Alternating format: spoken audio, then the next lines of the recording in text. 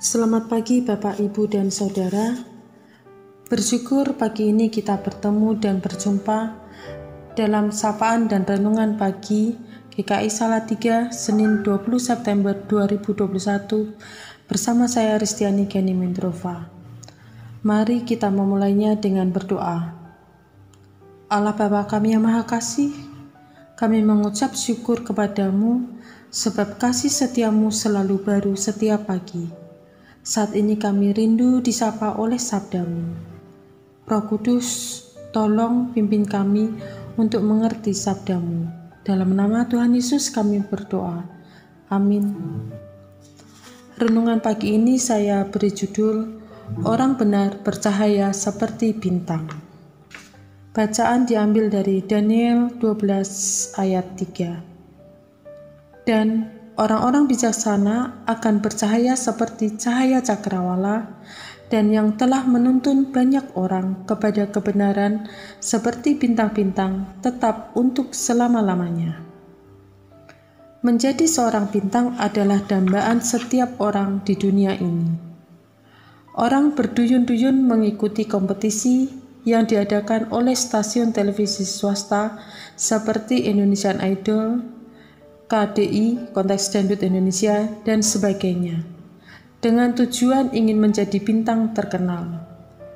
Menurut pemahaman orang kebanyakan, seorang bintang adalah orang yang hebat, memiliki prestasi luar biasa, dikagumi oleh banyak orang, sukses atau orang terkenal. Secara umum, definisi seorang bintang adalah orang terbaik di suatu bidang tertentu. Bagaimana arti seorang bintang di pemandangan mata Tuhan? Ayat Nas menyatakan, "Dan orang-orang bijaksana akan bercahaya seperti cahaya cakrawala, dan yang telah menuntun banyak orang kepada kebenaran seperti bintang-bintang, tetap untuk selama-lamanya." Jadi, orang dapat dikatakan seperti bintang apabila ia berhasil dalam menjalankan panggilan hidupnya sesuai yang ditentukan oleh Tuhan, yaitu bekerja dan menghasilkan buah. Karena itu, Rasul Paulus menasihati, "Lakukanlah segala sesuatu dengan tidak bersungut-sungut dan berbantah-bantahan, supaya kamu tiada beraib dan tiada bernoda sebagai anak-anak Allah yang tidak bercela di tengah-tengah angkatan yang bengkok hatinya dan yang sesat ini, sehingga kamu bercahaya di antara mereka seperti bintang-bintang di dunia.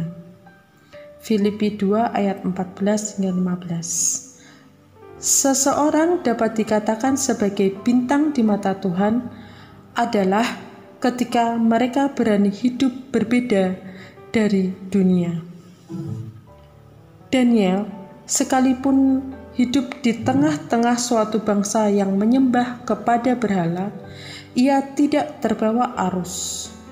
Ia tetap mampu menjaga hidupnya berkenan kepada Tuhan, sehingga kehidupan Daniel pun menjadi berkat bagi banyak orang.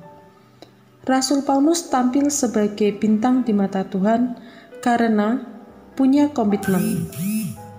Tetapi jika aku harus hidup di dunia ini, itu berarti bagiku bekerja memberi buah. Filipi 1 ayat 22 Dan ia pun mampu menyelesaikan panggilan hidupnya sampai garis akhir. Kitab kehidupan Tuhan hanya memuat nama-nama orang yang hidupnya seperti bintang. Untuk mengakhirinya, mari kita berdoa. Mari kita berdoa.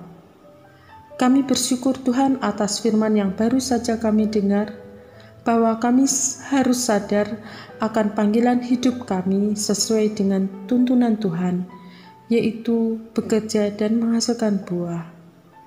Ajar dan tuntun kami ya Tuhan, agar kami dapat menjaga hidup kami berkenan kepadamu.